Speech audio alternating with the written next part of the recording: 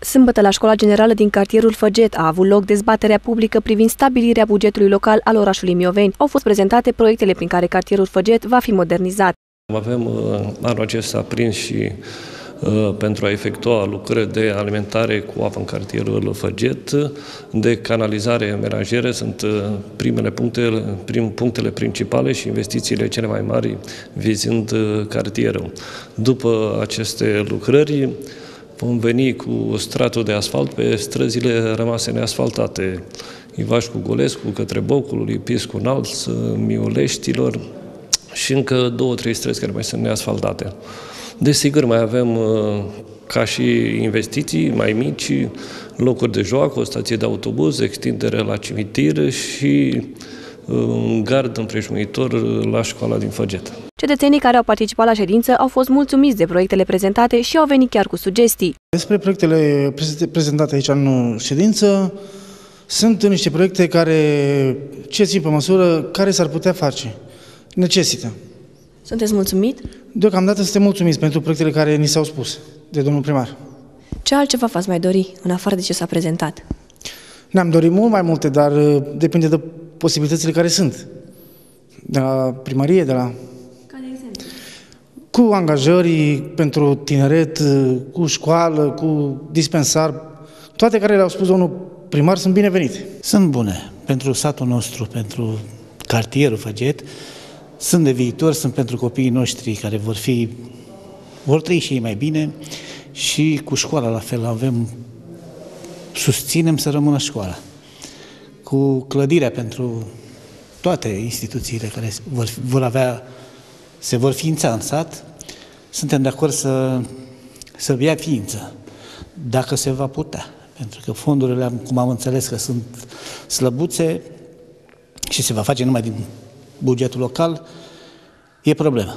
Duminică, dezbaterea publică s-a mutat în cartierul Racovița, la Căminul Cultural, și acest cartier va avea parte de câteva investiții propuse de către autoritățile locale pentru acest an. 2012 vom investi foarte mult în sănătate cât și în învățământ. Referitor la sănătate, pot spune că anul acesta, în mai, va începe Marele Spital în valoare de peste 35 de milioane de euro, un spital cu șapte secții, cu o dotare de ultimă oră, un spital care va face față tuturor cerințelor populației din uh, orașul Mioveni.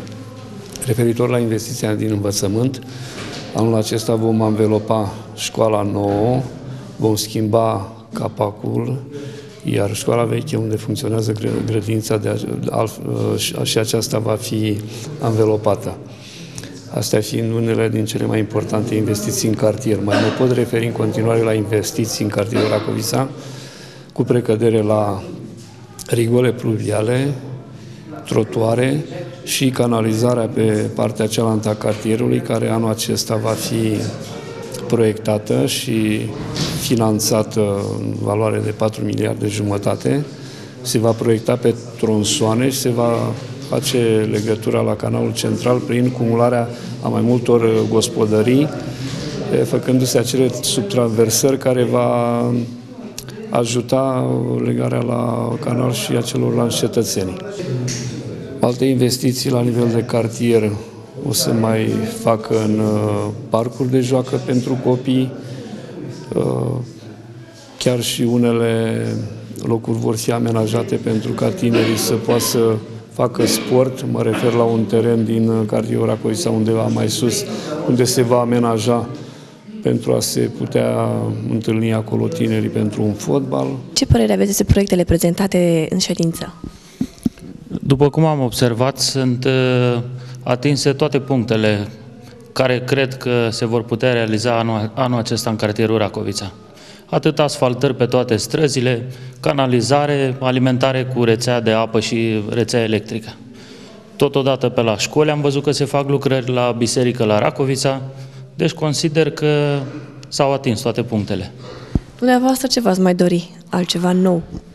Ă, m-am gândit puțin la problema câinilor bagabonți pentru că au un adăpost la groapa de gunoi și am văzut că seara coboară în, în haite, prin cartier. Să vedem ce se poate face. Sunt niște proiecte foarte bune, puse bine. Este ceva care nu prea au făcut mulți primari în România. Mai sunt și mici scăpări ale dânsului sau ale consilierilor, mai bine spus.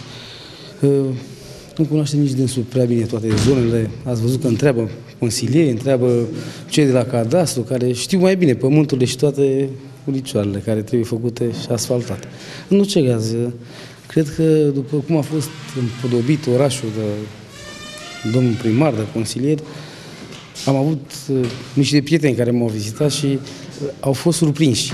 A zis că nici în București, cel puțin uh, cineva din București care a venit, uh, care e un om politic, să spun așa, acolo pe undeva, pe un sector, nu știu, care mi-a spus al domnul, așa, când a văzut că asfaltul Mioveni se spală cu soluția, a rămas surprins. Față de alte orașe e bine. Dezbaterile publice vor continua după programul bine stabilit. Sâmbătă, 28 ianuarie, ora 11.30, în cartierul Colibaș, la Căminul Cultural. Duminică, 29 ianuarie, ora 11.30, în cartierul Racovița de Sus, la Grădiniță. Marți, 31 ianuarie, la ora 17.30, la Mioveni, în sala de Consiliu a Primăriei și duminică, 5 februarie, ora 11, la Crucereasa, la Grădiniță.